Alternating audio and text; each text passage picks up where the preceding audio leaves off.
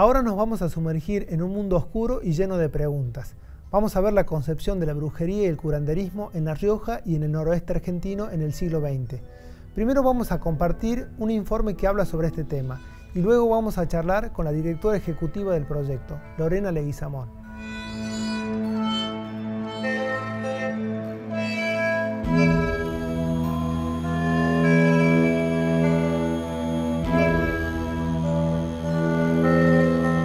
Propusimos indagar en las creencias de quienes habitaron el noroeste argentino, erróneamente identificados como diaguitas, más específicamente las asociadas a lo espiritual, el arte de curar, la relación entre la vida y la muerte, y la huella que dejó la dominación española en nuestras prácticas culturales, prácticas que no son reconocidas como ancestrales, pero su rastro pervive en el sistema cultural relacional presente partimos de dos experiencias místicas representadas como habituales y de uso cotidiano, el curanderismo y la brujería.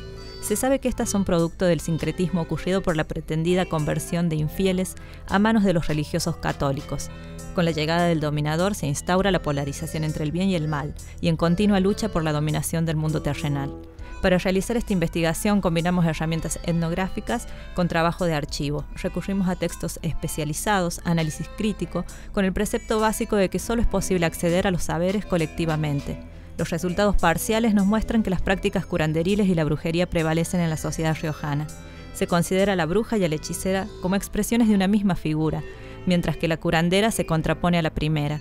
En síntesis, podemos decir que la idea del demonio en nuestro territorio dialoga con la del otro, la del salvaje, naturalmente diferente.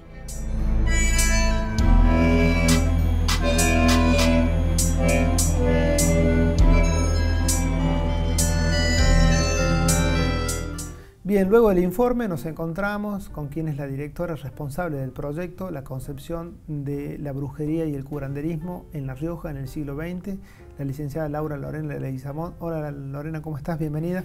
Hola Juan, muchas gracias por invitarme a esta sección de tu programa. Bueno, muchas gracias. Eh, lo que quería preguntarte es, ¿qué te llevó a realizar esta investigación en ciencias sociales, tomando en cuenta eh, las creencias de los habitantes ancestrales? en lo que es este, curandería y eh, brujería eh, y también en la región del NOA, ¿no? Bueno, esta te la tengo que responder un poco como en equipo. Nosotros somos un equipo que trabajamos en el Instituto de Estudios Antropológicos y Sociales de la Mujer, por ende hacemos investigaciones que tienen un tono por un lado antropológico y por el otro lado social y también fuertemente histórico. Ya venimos con esa tradición desde el año 2002 aproximadamente. Dentro de las investigaciones con perspectiva de género y más histórica siempre nos surgía esta cuestión de la bruja. Y en otras investigaciones también de familia nos aparecía la cuestión del curanderismo, de, las prácticas que todavía perviven. Entonces eh, era como una deuda que teníamos como equipo de investigación y decidimos llevarla adelante. ¿Cuál fue la metodología que utilizaron y en dónde la utilizaron? Bueno, tuvimos eh, una metodología combinada, por un lado un poco etnográfica, hicimos entrevistas, salimos a terreno, por otro lado hicimos un trabajo de archivo más bibliográfico y además este, intentamos que estos datos dialogaran con algunas investigaciones de la región. Eh, y bueno, a partir de eso, ver qué es lo que nos aparecía en lo local, principalmente, en, lo local asociado al NOA, que nos parecía que era algo muy particular y diferente. Cuando fueron al campo, eh, ¿fueron con bibliografías específicas sobre el tema? Sí, pero es muy escasa. Este, nosotros encontrábamos mucha bibliografía europea, más sobre la Inquisición quizás, y tal vez algo de la Inquisición sobre lo que es las Indias. Pero eh, lo, lo, que es la cuestión de curanderismo, de brujería, en la región, en el NOA específicamente, teníamos algún grupito de investigación en Jujuy, otro en Santiago del Estero, eh, Judith Faberman ahí haciendo sus investigaciones antropológicas. Quizás, este, sí, por ahí algo en Salta, pero en, La Rioja específicamente nada. Entonces era como un campo nuevo. Bien, la gente suele decir de que eh, yo no creo en las brujas, pero de que las hay, las hay. Dándole un poco a esto, de, dándole credibilidad a esto, digamos, ¿no? ¿Ustedes pudieron comprobar eso en la investigación, durante su investigación? Sí, eh, pudimos comprobarlo desde, pero bajo dos características. Por un lado está la creencia esta, eh, popular y reproducida socialmente de que existen las brujas, de que eh, generan maleficios, de que estas brujas salen de la cueva de la Salamanca, de que se reúnen y de que tienen capacidades, este, te diría que hasta extrahumanas, que pasan a otro plano. Pero por otro lado, em, al decir de que las hay, las hay, están hablando de, una tradición muy ancestral, una tradición de nuestros pueblos originarios y que tenía que ver con otras cuestiones, que tenía que ver con cuestiones del ser y ya más relacionadas al arte de curar y de sanar, ontológicamente hablando, es decir, el, ser como una totalidad. Bien.